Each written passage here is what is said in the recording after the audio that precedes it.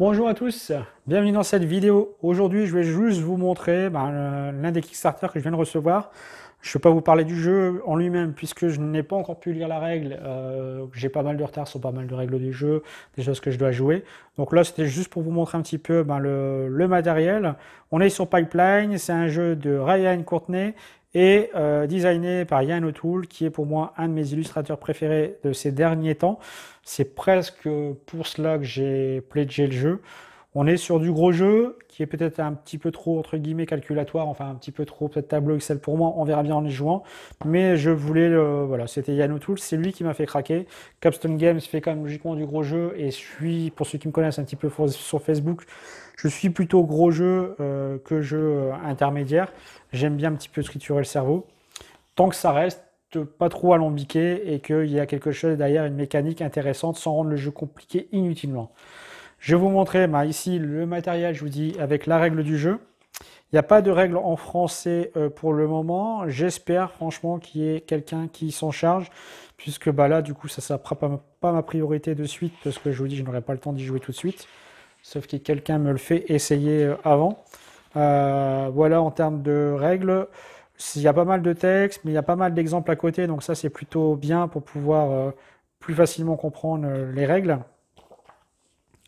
Un sac, voilà. La version retail est arrivée. Je vous mettrai le lien dans la vidéo chez Philibert. Le jeu n'est pas pour rien. Pourquoi? Parce que ben, c'est de l'import. Euh, donc déjà à la base sur Kickstarter, il coûtait quand même déjà un certain prix. Et là on est sur de l'import en anglais, donc euh, c'est un certain coût. Le plateau central avec la pâte graphique de Yann Tool, hop, qui fait un peu tableau Excel. Ici on a un petit peu le contour, enfin différentes façons. On va devoir connecter un petit peu donc, les tuyaux. Euh, voilà, ça c'est pour vous montrer le matériel. Je ne vais pas rentrer, je vous dis, dans les détails, ça serait vous dire des bêtises. Les plateaux de chaque joueur, hop. Donc c'est tous les mêmes, il y a juste une couleur sur le côté qui a l'air d'être différente, hop. Toutes les tuiles tuyaux. Regardez s'il y a trop. Il n'y a pas encore été du tout dépenché, j'avais juste ouvert la boîte.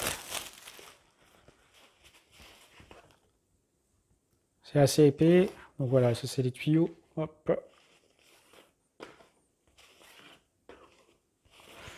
Et tous les tuiles qu'on va retrouver dans le jeu. Donc il y a quand même beaucoup, beaucoup de punchboard. Hein. Donc la boîte, elle sera bien pleine une fois que vous allez dépuncher le jeu.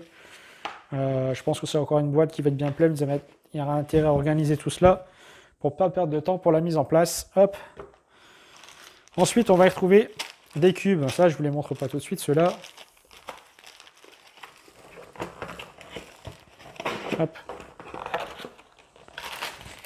Les cubes. Ça, c'est les cubes que vous avez euh, dans la boîte euh, retail et que vous aviez aussi quand vous pledgez euh, le jeu en Kickstarter. De toute façon, je crois qu'il n'y a aucun, il n'y a pas vraiment eu d'invantage pour la version Kickstarter, à part peut-être une version un peu folle. Je crois je suis même pas sûr.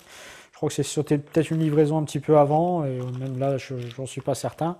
on avait ici ensuite, on a ici ces petits jetons là ces petits jetons là qui sont imprimés. Peut-être que ça c'est un petit bonus Kickstarter. Il n'y avait pas vraiment de bonus. Hein. Là c'est plus de la précommande chez Capstone Game que du bonus euh, KS. Les cartes qu'on va retrouver ici euh, dans le jeu.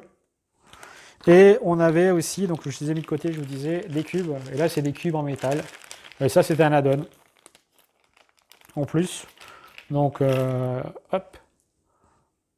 Il restera à y jouer pour voir. En tout cas, bon, c'est pas mal. Hein. On est, malheureusement, on a un peu tombé quand on a mis euh, le doigt dans le pot de confiture et qu'on aime bien prendre des pièces métal. Et ben maintenant, ils ont trouvé le truc aussi. On a dit, bah tiens, on va mettre des cubes métal. Puis au début, on dit, bah ça sert à rien. Et finalement, on les prend quand même. Hop. Voilà pour l'ensemble. Ces petits cubes. Et ce qu'on va retrouver dans la boîte, je vous dis, la boîte, une fois que vous aurez tout dépunché, je pense que ça, ben, on va devoir l'enlever. Parce qu'avec tous les petits jetons qu'on a, à mon avis, ça ne rentrera plus, vu qu'on est déjà limite. C'était Pipeline. En termes de... Je n'ai pas parlé de la, la durée et le nombre de joueurs, je vais vous montrer ça tout de suite.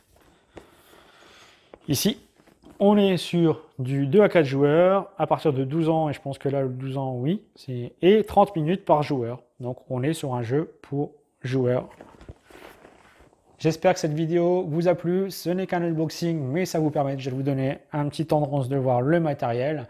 N'hésitez pas à liker, partager, me laisser des petits commentaires qui font toujours plaisir. Et je vous dis à ciao, bye bye pour une autre vidéo.